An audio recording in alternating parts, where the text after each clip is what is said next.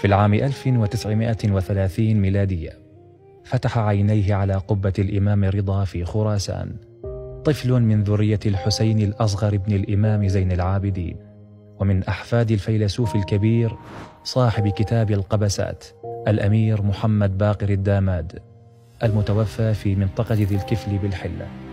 والمدفون في النجف قبل ثلاثمائة سنة من ولادة حفيده وبرعاية والده السيد محمد باقر السيستاني بدأ بتعلم القراءة والكتابة وحفظ القرآن الكريم في سن الخامسة. في السنة ذاتها أمر شاه إيران رضا بهلوي بمنع النساء من ارتداء الحجاب في عموم البلاد وقال من الآن لن يضحك الغرب علينا. وأخذ رجال الأمن ينزعون الحجاب عن النساء في الشوارع فضج العلماء والجماهير واعتصموا في مسجد جوهر شاد الملاصق لصحن الإمام رضا فأغلقت قوات الشاه أبواب الصحن وفتحت النار على المعتصمين مخلفة 1600 شهيد في مجزرة مروعة لم تشهد لها خراسان مثيلا. العقد الثاني في سن الحادية عشرة. وضع الفتى قدمه على سلم العلوم الحوزوية وارتقى في مدة وجيزة من مرحلة المقدمات إلى السطوح ثم البحث الخارجي.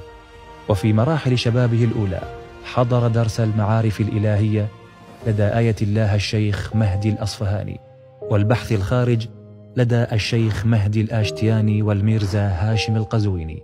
وفي سن الثامنة عشرة كان عطش العلم يزداد في نفسه فشد الرحال إلى مدينة قم مجاورا لقبر السيدة المعصومة وملازما لدرس الفقيه السيد محمد الحجة الجوهجمري. والمرجع الكبير السيد حسين البروجردي لمدة عامين كاملين. العقد الثالث كربلاء المقدسة في الزيارة الأربعينية. دخل العراق للمرة الأولى طالب البحث الخارج ذو الواحد والعشرين عاما. القادم من خراسان الذي سيصبح مرجع الطائفة الأعلى بعد ذلك بخمس وأربعين سنة. بعد زيارة جده الحسين توجه إلى النجف حيث جوار الإمام علي وأعمق حلقات البحث التي يقصدها طلاب العلم من أطراف العالم. وسكن المسافر الغريب في حجرة صغيرة بمدرسة البخاراء في محلة الحويش.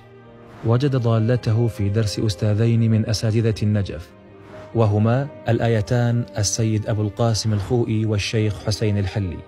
فلازمهما لعشرة أعوام كما حضر بحث زعيم الشيعة في عصره السيد محسن الحكيم. ذلك العقد شهد صراعات سياسية كالإطاحة بالحكم الملكي وتولي عبد الكريم قاسم للحكم الجمهوري. وصراعات سياسية بين الدول العربية أهمها الصراع بين قاسم وعبد الناصر. وصراعات ثقافية كصعود المد الشيوعي والمواجهة الفكرية بين الحوزة العلمية والتيارات الإلحادية.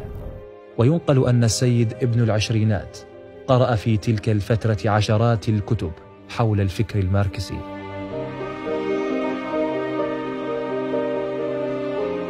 أضاف التلميذ إلى تحصيله العلمي نمطا عاليا من الزهد وتهذيب النفس. لم يعرف الشاب في حياته غير بيوت الإيجار الصغيرة. تشاركه في ذلك زوجته التي غمرتها روحية زوجها وإيثاره منذ الأسبوع الأول لحياتهما الزوجية حيث طوى السيستاني سجادة البيت الوحيدة وأعطاها لصديقه الذي ينقصه الأثاث في ليلة زفافه هو الآخر. تلك الزوجة هي حفيدة المرجع الأعلى في عصره.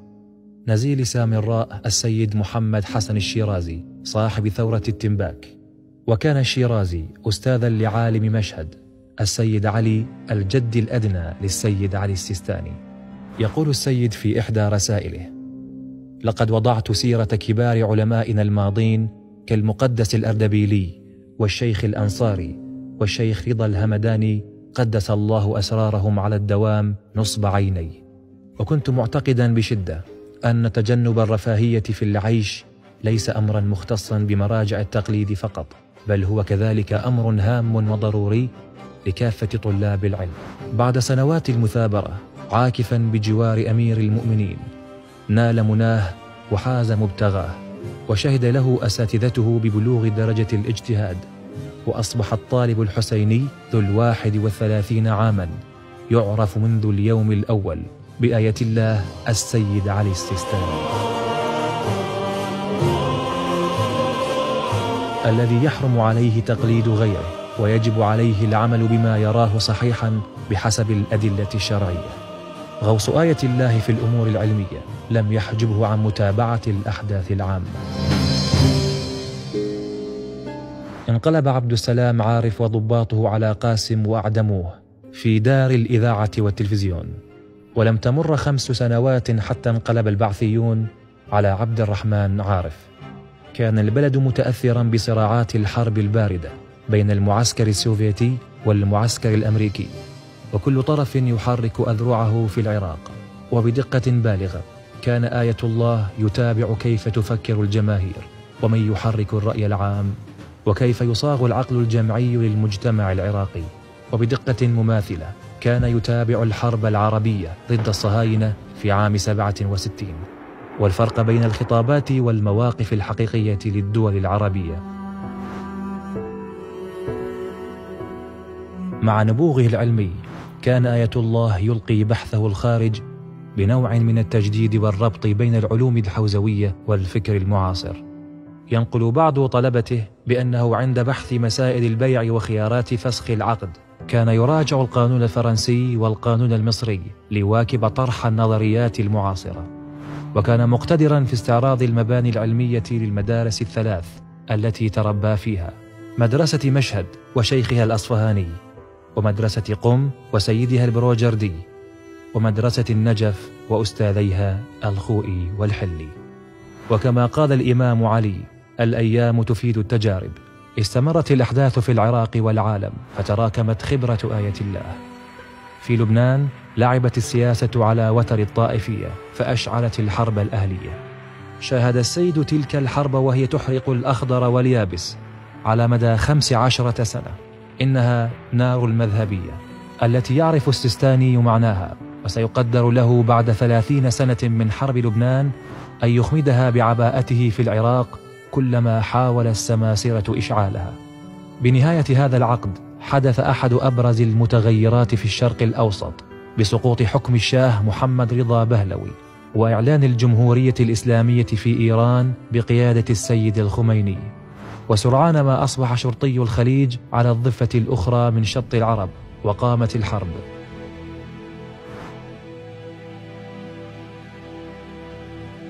أمام الدعم الدولي المطلق الذي حظيت به سلطة البعث كان ثمن الاستقلال في التصرف والقرار باهظا جدا وكانت حوزة النجف مخيرة بين الانحناء والإفتاء على هوى الحاكم أو الاستئصال والإبادة. وعندما عجز النظام عن انتزاع كلمة مهادنة واحدة استهدف الحوزة على ثلاثة أنحاء. أولا نفي طاقاتها العلمية فعمل على تسفير المئات من طلبة السيد الخوئي غير العراقيين وبعضهم من المجتهدين كالآيتين السيد محمد الروحاني والشيخ جواد التبريزي. ونال التسفير طلاب السيد السيستاني وكاد أن يناله أيضا لأكثر من مرة. ثانيا إفراغها من قيمتها المعنوية بنشر الإشاعات والأكاذيب عن العلماء بطرق مختلفة. قبل أن تظهر مواقع الإنترنت في هذا الزمان وتصبح المهمة أسهل بكثير. ثالثا التصفية الجسدية. وعلى مدى سنوات هدمت مدارس ومساجد عريقة ونزفت دماء المجتهدين من علماء النجف.